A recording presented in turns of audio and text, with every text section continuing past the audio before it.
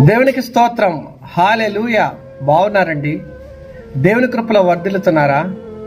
చాలా రోజులైతుంది మీతో నేరుగా మాట్లాడి దేవుని మాటలు పంచుకొని చాలా రోజులైతుంది.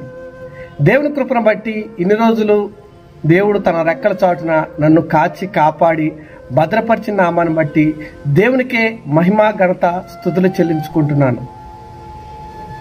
ఎందుకనంటే ఈ మధ్యకాలంలో నేను దేవుని యొక్క సందేశాలు కానీ దేవుని యొక్క పాటలు కానీ మన ఛానల్ నుంచి ఎందుకు రావట్లేదంటే నాకు కోవిడ్ రావటం వల్ల నేను గత పదిహేను రోజులుగా దేవుని యొక్క వాక్యాన్ని కానీ దేవుని యొక్క పాటలను కానీ మీ ముందు ఉంచలేకపోతున్నాను.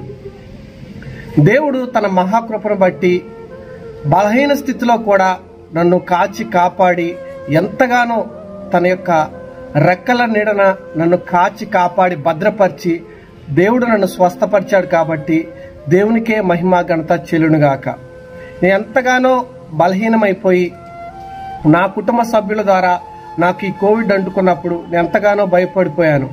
ఫస్ట్ వేవ్ సెకండ్ వేవ్లో కూడా ఇక నాకు రాదు నేను వ్యాక్సిన్ వేయించుకున్నానన్న ధీమాతో ఉన్నాను కానీ అయినప్పటికీ ఆ వైరస్ నన్ను కవలించి వేసి నేను ఎంతగానో బలహీనమైపోయి భయపడిపోయాను. కానీ దేవుడు తన యొక్క శక్తినిచ్చి నన్ను ఎంతగానో డే త్రీ నుంచి కూడా బలహీన పడకోకుండా ఎంతో శక్తివంతుల్లాగా నన్ను భయం లేకోకుండా ఆయన ధైర్యపరుచుకుంటూ వచ్చాడు.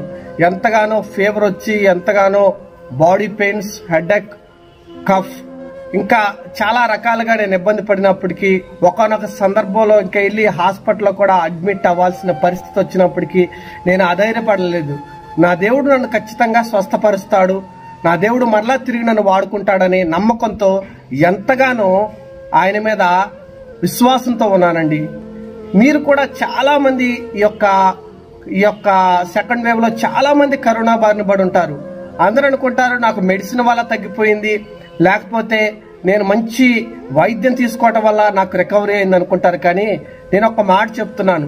దేవుని కృప వల్లే ఈ రోజున మీరు సజీవు లెక్కలో నేనైనా మీరైనా ఉండగలుగుతున్నాం ఎంతో మంది అండి ఎంతో మంది ఈ యొక్క సెకండ్ వేవ్లో సా పండితులేమి ధనవంతులేమి గొప్ప గొప్ప వారేమి గొప్ప గొప్ప వారేమి ఎంత డబ్బున వారేమి ఎన్ని కోట్లు కలిగి ఉన్నా ఎంత వైద్యం అందినప్పటికీ వారి ప్రాణాలను కోల్పోయారు. కానీ దేవుని యొక్క కృప మన మీద ఉంది కాబట్టే. ఇంకా మనం సజీవ లెక్కలో ఉన్నామండి. అందును బట్టి మనం దేవుని స్థుతించాలి మనం కేవలం ఏమనుకున్నామంటే ఇది మన యొక్క ఘనతను బట్టి మనకు తగ్గిపోయింది. మన యొక్క శక్తిని బట్టి మన యొక్క ఇమ్యూనిటీ పవర్ను బట్టి మనకి కరోనా మనల్ని ఏం చేయలేదు అని మనం మనం గణపరుచుకునేవారుగా మనం ఉండనవసరం లేదండి. నిజంగా దేవుని ప్రేమ నీ మీద నా మీద ఉంది కాబట్టే దేవుడు మనల్ని ఈ రీతిగా స్వస్థపరిచి ఆయన యొక్క కృపలో ఇంకా ముందుకి వాడుకోబోతున్నాడు. ప్రియ దేవుని బిడలారా ఒక్కసారి ఆలోచించండి. ఇంకా దేవుడిచ్చిన కృపను బట్టే నువ్వు సజీవ లెక్కలో ఉన్నావు. దేవుడిచ్చిన జీవానికి ఆయనకు ఆయన నీ పట్ల కలిగి ఉన్న ప్రణాళికను ఆయన యొక్క చిత్తాన్ని నువ్వు నెరవేర్చాలి.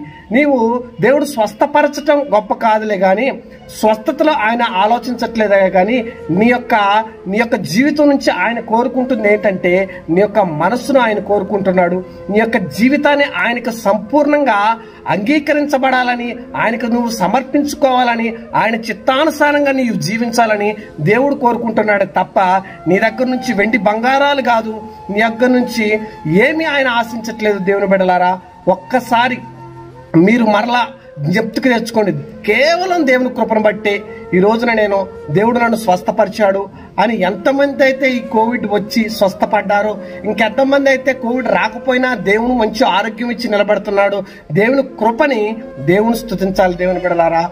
ఒక్కసారి మీరు దేవుని స్థుతించండి ఎంతగానో నా కుటుంబ సభ్యులు నాకు నా భార్యకు అందరూ కుటుంబం మొత్తానికి కోవిడ్ వచ్చి మేము ఎంతగానో బాధపడ్డాం.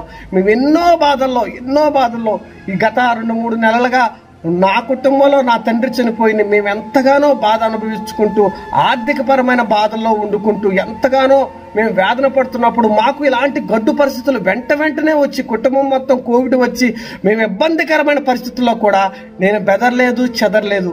దేవుని మీద ఆధారపడ్డాను.